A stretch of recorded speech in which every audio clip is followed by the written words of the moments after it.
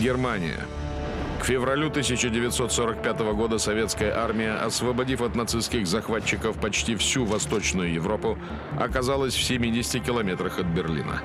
Положение гитлеровской Германии было уже безнадежным, но ее армия все еще представляла собой серьезную силу. Штурм столицы Третьего Рейха начался 16 апреля 1945 года.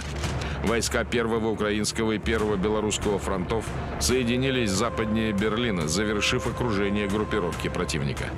Во время ожесточенных боев за город 78 291 солдат Красной Армии погиб.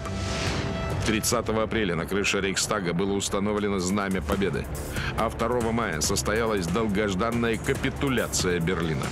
Битва за Берлин стала заключительным сражением в Великой Отечественной войне.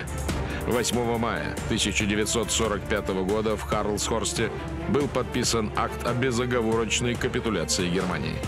Блестяще проведенная операция Красной Армии вместе с мужеством советских солдат и офицеров привели к закономерному итогу – победе в войне и спасению мира от нацизма. После штурма Берлина и капитуляции Германии советские власти приняли решение восстановить город из руин и спасти мирных жителей от голодной смерти. Уже с 13 мая 1945 года советское командование организовало бесплатную раздачу еды берлинцам – Суточный рацион для взрослых работающих немцев составлял 600 граммов хлеба, 80 граммов крупы и 100 граммов мяса. Все дети получали по стакану молока в день.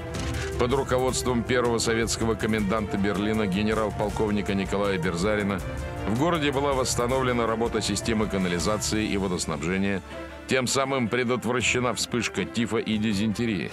Местным жителям были сделаны профилактические прививки против опасных эпидемических заболеваний. Были открыты 52 станции метро. Возобновились занятия в школах. Начали работать 92 больницы, 6 станций скорой помощи, 10 родильных домов. 33 тысячи жилых зданий были подключены к электросетям. Берлин был возрожден благодаря советским солдатам, офицерам и инженерам. В 2022 году Германия приняла широкий пакет санкций против России, в том числе остановив сертификацию «Северного потока-2». Российским артистам дали выбор – публичное осуждение собственной страны, либо потеря контрактов.